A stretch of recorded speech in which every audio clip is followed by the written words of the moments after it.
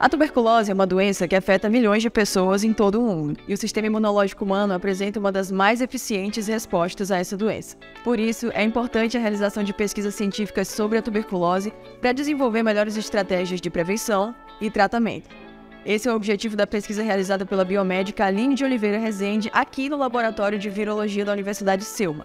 O estudo foi apoiado pela FAPEMA e a gente veio aqui conhecer de perto para compartilhar com você em mais um episódio do quadro Pesquisa em Destaque.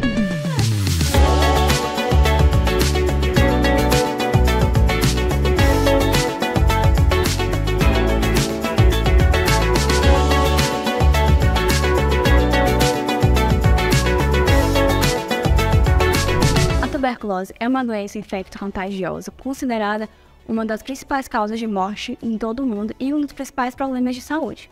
Além dela, existe a infecção latente por tuberculose, que é um grande desafio para a erradicação da doença por ser assintomática. Nosso estudo traz novos aspectos em relação à resposta imunológica da doença e a nossa avaliação realizada mostra um novo papel para os genes já conhecidos, Além disso, acreditamos que a inibição do gene IF1-alfa pode se tornar uma alternativa terapêutica para o tratamento da tuberculose, pois esse gene ele aumenta a resposta imunológica contra o bacilo de Koch. Para a realização da nossa análise, foi recrutado pacientes, pacientes com tuberculose ativa, pacientes com infecção latente por tuberculose e controles saudáveis.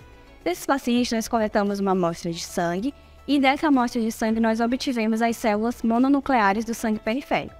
Com essas células, nós realizamos a expressão de genes, como genes conhecidos como citocinas. Então, como resultado, a expressão de citocinas como a IL-15 foi maior em indivíduos latentes de tuberculose do que em pacientes com tuberculose ativa, enquanto a expressão de IL-18, TNF foi semelhante entre esses grupos.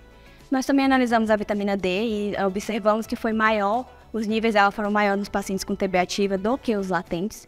E em relação à expressão do IF1-alfa e do GNA20, observamos que essa expressão foi menor nos indivíduos latentes do que os pacientes com TB ativa. Então, juntos, esses resultados nos sugerem que, em condições de hipóxia, em baixa oxigenação, a produção de TNF-alfa e a ativação da via NF-κB podem estar associadas à progressão da infecção latente de tuberculose. Esse trabalho foi realizado no Laboratório de Virologia da Universidade de Selma, orientado pelo professor Dr. Eduardo Martins de Souza, docente da universidade e parte do programa de pós-graduação da universidade, e nosso apoio foi da FAPEMA, que foi um apoio extremamente importante para nós, tanto como alunos quanto professores. A FAPEMA nos dá um apoio muito grande em conseguir formar novos alunos de graduação, de pós-graduação, além de é, nos ajudar na manutenção do laboratório, na compra de reagentes, de materiais que são necessários para a nossa pesquisa.